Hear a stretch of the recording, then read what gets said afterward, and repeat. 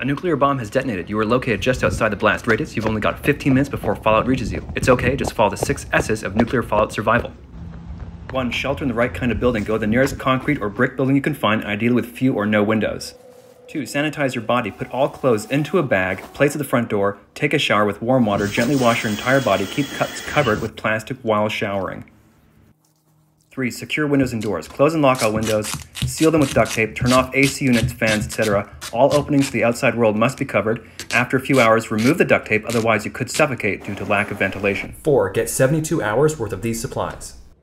5. Choose the right space. Get to a windowless room near the middle of the building, away from the outer walls, or go to a basement. Avoid rooms close to the roof because fallout collects on roofs.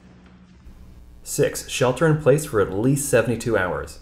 Okay, I'm Kieram, and this is the Master of Disaster series. Follow me on YouTube if you want to live.